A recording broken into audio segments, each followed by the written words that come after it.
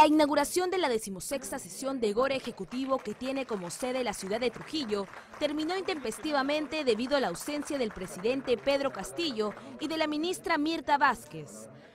La mayoría de gobernadores regionales presentes calificaron esto como una falta de respeto y tomaron la decisión de no iniciar la reunión hasta que la presidenta del Consejo de Ministros se haga presente.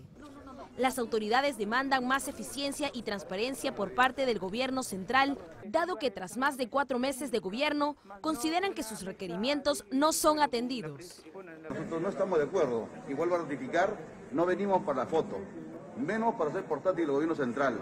Queremos un trabajo mancomunado, queremos un trabajo articulado entre las instituciones, tanto del gobierno central y los gobernadores regionales del Perú. También necesitamos la, la, la, presencia del presidente de la República.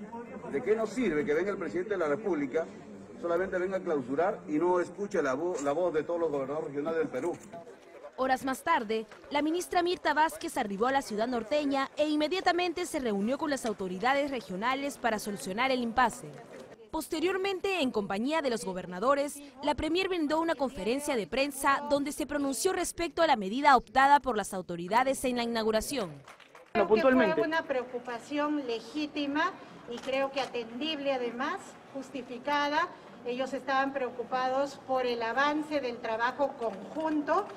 Nosotros también hemos expuesto nuestras razones que no significaron en ningún momento un desaire o despreocupación en este espacio que más bien desde el Ejecutivo queremos fortalecer.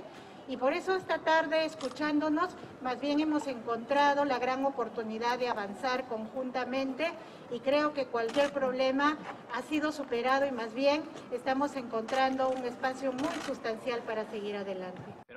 Agregó que el jefe de Estado Pedro Castillo y el total de ministros que integran su gabinete serán presentes para continuar con las actividades del programa en el segundo día de esta sesión de Gore Ejecutivo 2021. Ahora vamos